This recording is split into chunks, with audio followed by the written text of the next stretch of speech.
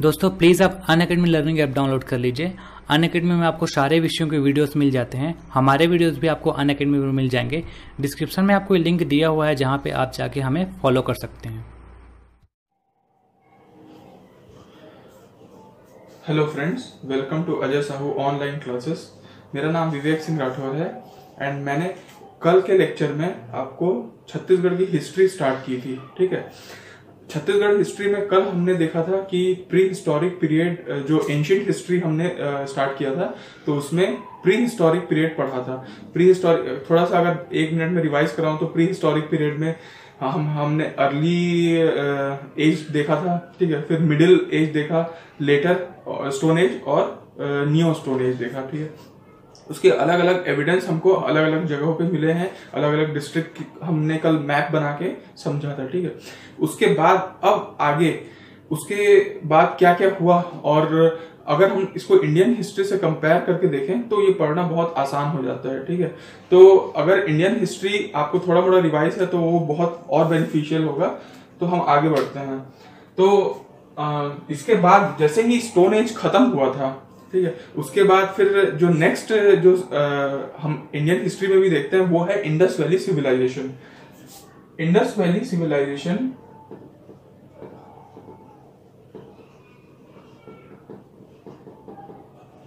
Indus valley civilisation ये अगर आप इसका एरा देखें जो इंडियन हिस्ट्री से मिलता है वो है two three five zero BC से फिफ्टीन हंड्रेड बीसी ठीक? फिफ्टीन ये एरा ऐसा था जिसमें हमने बहुत सारे इंडियन हिस्ट्री में देखा जाए तो इंडिया में जैसे राजस्थान से हमको बनवाली मिला है जगह है गुजरात में लोथल है, यहाँ से हमको बहुत सारे एविडेंसेस मिले हैं और मोहनजोदड़ो और हरप्पा था तो इसको हरप्पन सिविलाइजेशन भी कहा जाता है, ठीक है? और ये छत्तीसगढ़ के हिस्ट्री से, के पॉइंट ऑफ़ व्यू से उतना इम्पोर्टेंट नहीं है। क्यों? क्योंकि यहाँ पे छत्तीसगढ़ के उसमें देखा जाए तो यहाँ पे हमको कोई एविडेंस मिला नहीं है।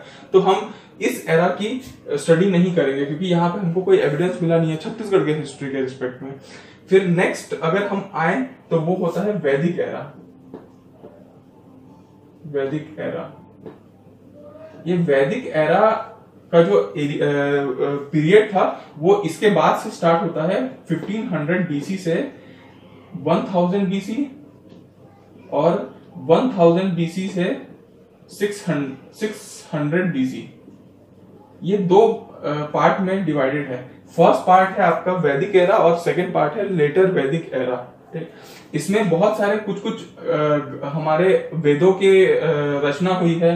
तो अगर हम देखें तो यहाँ पे इस एरा में ऋग्वेद फ़ेमस था। ऋग्वेद की रचना हुई है, ठीक है? और यहाँ पे बहुत सारे ऐसे ग्रंथ हैं जो कि, जैसे पहले वेदों में ही अगर देखा जाए तो साम वेद है अथर्वेद है, यजुर्वेद है उपनिषद है,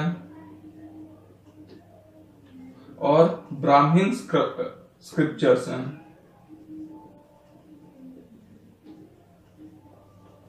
तो इतने सारे ग्रंथ इस टाइम पे लिखे गए थे। अगर आप ये वाला एरिया देखें, ठीक है? ये वाला एरिया है 1500 बीसी से 1000 बीसी तो इस एरिया में हमको एज सच कोई एविडेंस यहाँ से नहीं मिले हैं। क्यों? क्योंकि ऋग्वेद में ऋग्वेद में जो डिस्क्रिप्शन है, वो है जम्मू कश्मीर के मुंज माउंटेन मुंज माउंटेन से विंध्यांचल विंध्यांचल जो माउंटेन है माउंटेन उसके नॉर्थ तक ही उसमें डिस्क्रिप्शन है। तो अगर कोई भी जो एविडेंस हमको मिल रहे हैं, वो अगर यहाँ से यहाँ तक ही मिल रहे हैं। तो डेफिनेटली बात है कि उसके बाद का उसमें कोई डिस्क्रिप्शन है नहीं तो वहाँ से हमको कोई एविडेंस मिले नहीं है। तो इस वजह से भी हम ये जो आ, ये वाला एरिया है वैदिक एरा उसको हम स्टडी नहीं करते हैं छत्तीसगढ़ हिस्ट्री में।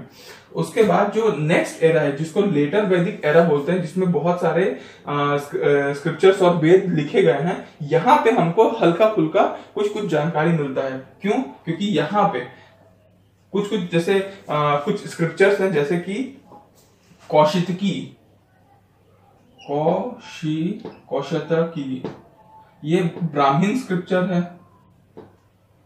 इसमें हमको कुछ जानकारी मिली। क्या जानकारी मिली? कि इसमें हमको विंध्यांचल के बारे में जानकारी मिली ठीक है? विंध्यांचल पर्वत के बारे में जानकारी मिली। इसी उसमें नर्मदा नदी को नर्मदा नदी की भी डिस्क्रिप्शन था जो कि रेवा नदी के नाम से फ़ेमस था ठीक है? और उसके बाद एक और जो हमको ब्राह्मण स्क्रिप्चर मिला वो है शतपथ शतपथ शतपथ ब्राह्मण स्क्रिप्चर में आ, हमको लगभग रिवर्स के बारे में जा, आ, के बारे में जानकारी मिलती है ठीक है? तो हम वैदिक एरा में ये देखते हैं कि पहले जो ऋग्वेद, जो वैदिक एरा था, उसमें हमको कोई जानकारी छत्तीसगढ़ की नहीं मिलती है, लेकिन इस जो पीरियड है, उसमें एक कौशिकी ब्राह्मण स्क्रिप्चर है और एक शतपथ ब्राह्मण स्क्रिप्चर है। कौशिकी में ये डिस्क्रिप्शन था कि विंध्यांचल पर्वत है और वहाँ पे नर्मदा नदी बहती है, जो रेवा नदी के नाम, रेवा नदी के उसमें डिस्क्रिप्शन था। और शतपथ ब्राह्मण स्क्रिप्चर में भी रिवर्स के बारे में डिस्क्रिप्शन था। अब हम लोग इंडस वैली सिविलाइजेशन पढ़ लिए, वैदिक एरा पढ़ लिए। अब नेक्स्ट एरा में आते हैं, जो कि कुछ थोड़ा सा इसको हम लोग कंपेयर करके पढ़ेंगे। ये है आपका रामायण एरा और महाभारत एरा ठीक है? तो आप सभी लगभग बचपन से रामायण और महाभारत से थोड़ा मोड़ा रूबरू होंगे तो ये आसानी होगी हम लोग को पढ़ने में। इसको दो भाग में हम लोग कंपेयर करके पढ़ते हैं। रामायण एंड महाभारत महाभारत ठीक है? तो आप लोग ये हल्का हल्का पता होगा, अगर पता होगा तो कि रामायण काल में छत्तीसगढ़ को किस नाम से जाना जाता था? उस, उसका, वो नाम है साउथ कौशल, ठीक है? हिंदी में उसको दक्षिण कौशल बोला जाता है। और महाभारत में छत्तीसगढ़ को क्या बोलते थे? वो था प्राक कौशल, ठीक है? प्राक कौशल। अब इसकी अगर थोड़ी सी रामायण की हम लोग डिटेल में जाते हैं तो आप लोग सब जानते होंगे कि रामायण मतलब राम भगवान का एरा, राम, ठीक है? राम भगवान के जो पिता थे, वो थे दशरथ दशरथ, और इनकी माता थी कौशल्या कौशल्या जिनकी बेटी थी, वो थे भानुमंत भानुमंत और भानुमंत किसके पुत्र थे? वो थे महाकौशल। तो ये महाकौशल जो थे, उनके नाम से ये कौशल प्रदेश रखा गया था। ठीक है? ये कौशल प्रदेश महाकौशल के नाम से रखा गया था। और कौशल के दो पार्ट थे नॉर्थ कौशल और साउथ कौशल। तो ये जो साउथ कौशल है, ये साउथ पार्ट है। फिर इनके जो बेटे हुए भानुमंत और इनकी कोई पुत्र नहीं थे इकलौती पुत्री थी कौशल्या तो अपना जो प्रॉपर्टी था, वो उनके नाम पे कर दिया और कौशल्या के जो हस्बैंड थे, दशरथ, वो फाइनली ऑफिशियली इस प्रॉपर्टी के लगभग मालिक हुए और फिर राम भगवान आए। तो ओवरऑल अगर देखा जाए तो राम भगवान की जो माता थी कौशल्या, वो साउथ कौशल से रिलेटेड है। इसीलिए राम भगवान का ननिहाल भी साउथ कौशल यानी छत्तीसगढ़ को कहा जाता है। और यही आप लोग कोई रीति रिवाजों में भी देखते होंगे कि जो मामा है, वो अपने भांजे का पैर छूते हैं, क्योंकि वो समझते हैं कि उनके जो भांजे हैं, वो राम भगवान के रूप में है। ठीक है? ये इसकी बेसिक स्टोरी थी। अब अगर अपन देखा जाए कि राम भगवान का आप वनवास भी सुने होंगे। तो वनवास को इंग्लिश में एग्जाइल पीरियड बोलते हैं। एग्जाइल पीरियड वो लगभग चौदह साल में से, लगभग दस साल वो छत्तीसगढ़, यानी कि साउथ कौशल में बिताए थे, यहाँ यहाँ एरिया में। और उसी समय एक, जो हमारा बस्तर का एरिया था, उसको हम दंड कारण्या कहा जाता था दंड कारण्य क्योंकि यहाँ पे दंडक राक्षस रहता था। ठीक है। और भी हमको बहुत सारे कुछ कुछ एविडेंस मिले हैं जो कि ये प्रूफ करते हैं कि रामायण पीरियड में भी छत्तीसगढ़ का एग्जिस्टेंस था और यहाँ पे राम भगवान आए थे, ठीक है। तो कुछ एविडेंस हम देखें तो एविडेंस अगर अपन मैप से देखें तो वो जल्दी याद हो जाता है। तो मैप से अपन इसको देखते हैं। एक रफ मैप छत्तीसगढ़ का अपन बनाते हैं और यही रफ मैप हम लोग महाभारत को भी देखने के लिए बनाते हैं, ठीक है। एकदम रफ मैप है और ये है छत्तीसगढ़ का एरिया। यहाँ पे अब हम लोग डिस्ट्रिक्ट वाइज नहीं बांटते हैं डायरेक्ट हम लोग डिवीज़न में ही देख लेते हैं कि कहाँ कहाँ पे क्या क्या मिले हैं, ठीक है। तो अगर ये अयोध्या है इस तरफ़ और यहाँ से उनका राम पथ गमन है तो यहाँ से सबसे पहले अगर ऊपर से नीचे आए तो ये है सरगुजा, ठीक है। ये सरगुजा एरिया, यहाँ पे हमको कुछ कुछ चीज़ें मिली हैं, जैसे रामगढ़ की पहाड़ी ठीक है? सीता बेंगरा लक्ष्मण बेंगरा ये सब कुछ कुछ ऐसे जगह हैं जो राम लक्ष्मण सीता के नाम से ही हैं और ये माना जाता है कि राम भगवान लोग जब आए थे तो यहाँ पे स्टे किए थे। उसके बाद यहाँ पे आ, अगर आ, देखा जाए तो देवगढ़ की पहाड़ी उसको वहाँ पे फोकलोर है कि वो एक वो ही किशकिंधा पर्वत है। ठीक है? जो जहाँ पे बाली और शिवग्रीव जी मिले थे वहाँ। फिर यहाँ पे सीता कुंड है। सीता कुंड और हाथी खो। ये सब एरिया रामायण एरा से रिलेटेड है। तो अगर कोई जैसे क्वेश्चन में पूछता है कि इनमें से कौन से ऑप्शन में which are of the following option are related with the Ramayana era तो हम इस ऑप्शन को खोजते हैं, ठीक है?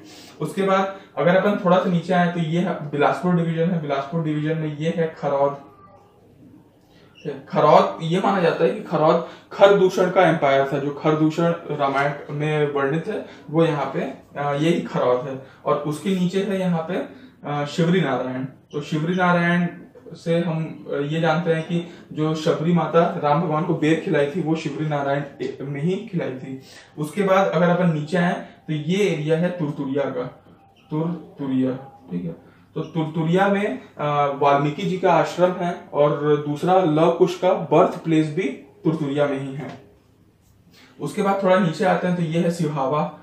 सिहावा पर्वत में श्रृंगी ऋषि का आश्रम माना जाता है और ये भी माना जाता है कि उनके कमंडल से जो जल निकला था वही आज महानदी के नाम से बह रहा है।